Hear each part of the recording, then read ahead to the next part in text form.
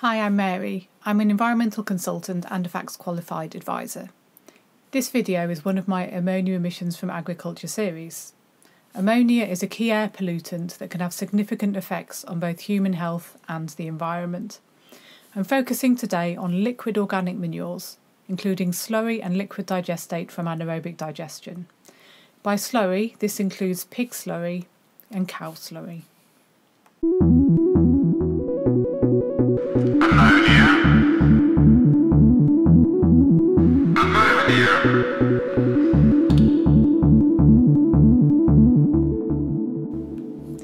Just taking a step back, ammonia from agriculture, where does it come from? Around 90% of ammonia emissions are from agriculture, and this includes all stages of livestock production. Firstly, during housing, be that outside or in, plus diet, which together I call lifestyle. Secondly, from stored organic manures, and finally during application to land. So today my focus is on storage. In some EU countries, slurry covers are now mandatory for reducing ammonia emissions. This video provides an overview of different types of impermeable covers. I have separate videos where I talk about the other aspects shown here. So there are three main ways to reduce ammonia emissions once the manure or slurry is being stored. Firstly, by decreasing the surface area where the emissions can take place. This can be done by either covering the store in a range of ways depending on the store type, with impermeable covers being what I'm going to talk about today. Other options include permeable covers, encouraging crusting, or by increasing the depth of the store. The second main method is acidification. This is starting to be used in some countries, including Denmark. And thirdly, minimising disturbances such as aeration. This would include stirring the slurry as little as possible. Not all methods will be suitable for all types of slurry and manure, and some also work for digestates. For new stores on intensive poultry and pig farms in the UK, covers are now compulsory, unless other ammonia emission reduction techniques such as acidification are used. Also, covers are required for some livestock types in other countries, including Germany and the Netherlands. The other methods will be discussed as part of this video series on reducing ammonia emissions from agriculture. So why cover liquid, slurry and digestate stores? This is a basic diagram of a slurry store that is not covered, such as an above ground store or a lagoon. So the slurry contains ammonium, NH4+.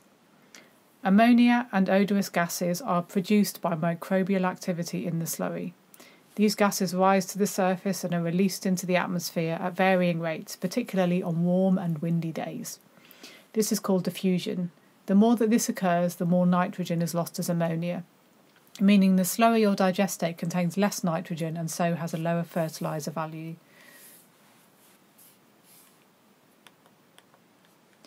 Rain will increase the liquid in the store and hence the volume which needs to be spread. All slurry stores have a maximum fill level which is called a freeboard, properly defined as the vertical distance between the top of the tank or lagoon and the surface of the slurry. The freeboard height varies depending on the type of store. For example, in the UK, this is 750 millimetres for lagoons and 300 millimetres for circular stores. Putting an impermeable cover on the store as shown here in yellow, will reduce the amount of ammonia formed and at the same time retain the nitrogen in the slurry as ammonium. This is where we really want the nitrogen to be, ready for fertilising crops once spread. The cover will also prevent rain from getting in and prevent the release of odours. So putting this into perspective, let's think about a 50 by 100 metre slurry lagoon. So, in one year, for an area with an average rainfall of 65 centimetres per year, it's about right for some of the drier parts of England, 3,250 metres cubed of rain will enter the lagoon.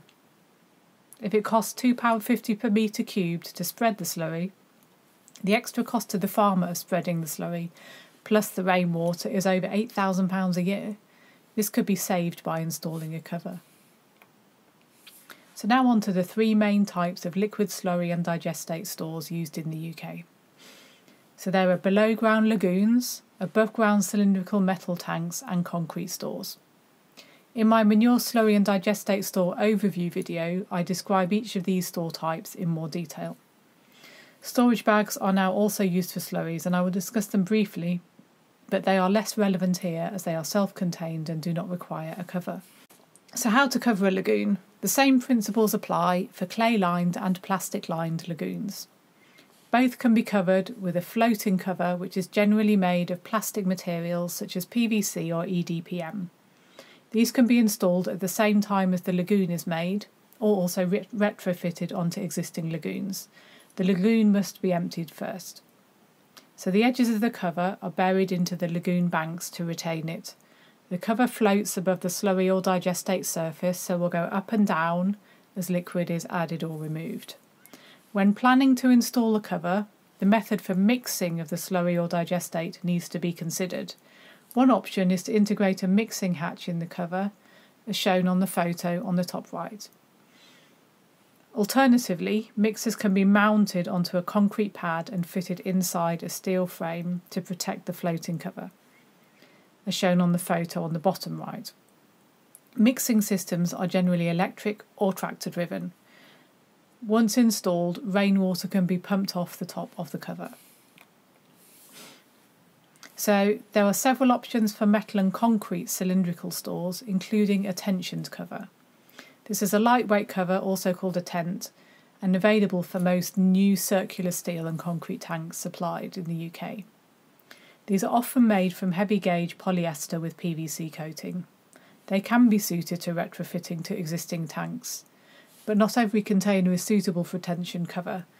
Especially steel tanks may not have the required static load capacity to withstand wind and snow with a tent cover on.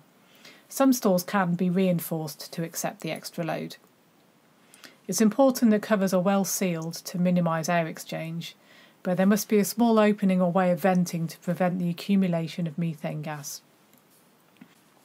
Here are some photos showing how a tensioned cover is installed on a concrete store as an example. You can see on the photo on the left the central pole or mast. This is then mounted on the floor of the store. Straps or spokes open out to the perimeter.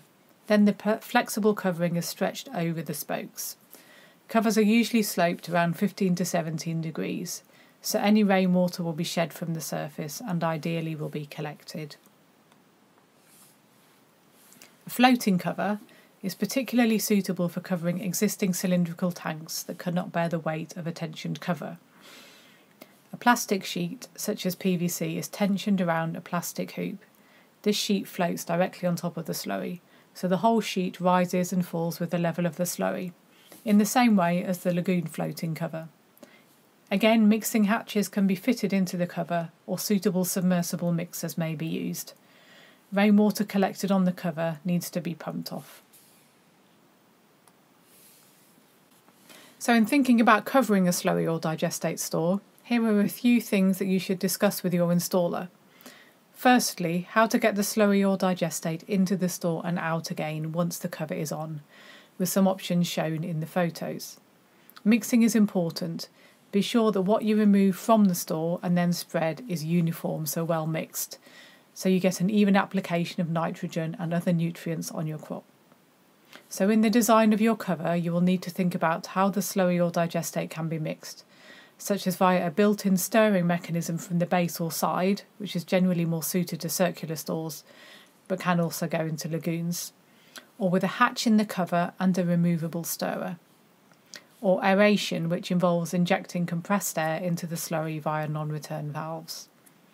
Some kind of gas venting system will also be needed. For lagoons, this could be floating pillows and perimeter gas pipes between the lagoon liner and the floating cover. Removing rainwater is also an important consideration for all covers, be it a guttering system on a tent cover or pump for a floating cover. So, just one slide on slurry and digestate storage bags. These can offer a good alternative to building a lagoon or circular store with a cover. These are flexible bags, they're made from strong polyester fabric which has been coated on both sides with a plastic waterproof layer. They often come pre fitted with valves for filling and emptying. They can be installed within existing storage tanks or lagoons as an alternative to installing covers. Alternatively, a soft bedding layer, such as wood chips, needs to be spread, and then a puncture proof geotextile layer on top of this. And finally, the slurry storage bag can be placed on the top. These bags may not be suitable for all locations and require some form of secondary containment, such as a bund, to make sure that any leaks or spilled are contained and do not cause pollution. These bags take up more land surface area proportionally than for a raised tank. So this table summarises the ammonia reduction for the different cover types I've just been talking about. I've also included plastic sheeting for covering solid manure heaps. This can reduce ammonia emissions by around 60%. The floating covers, which are used in lagoons and also for circular tanks, reduce ammonia emissions by 60% approximately. And flexible tent and rigid roofs on circular stores can reduce emissions by 80%. Slurry bags, as they're pretty much self contained, they can reduce ammonia emissions by up to 100%. Finally, just a few notes on health and safety. A reminder that this video series is for information only, it's not advice. So, not all slurry stores and lagoons are structurally suitable for having a fixed or floating cover installed, so always have a qualified structural engineer involved from an early stage. Gas concentrations within covered slurry and digestate stores can reach lethal levels, so no one should go inside a covered store. Also, extreme caution must be used if you need to open a cover.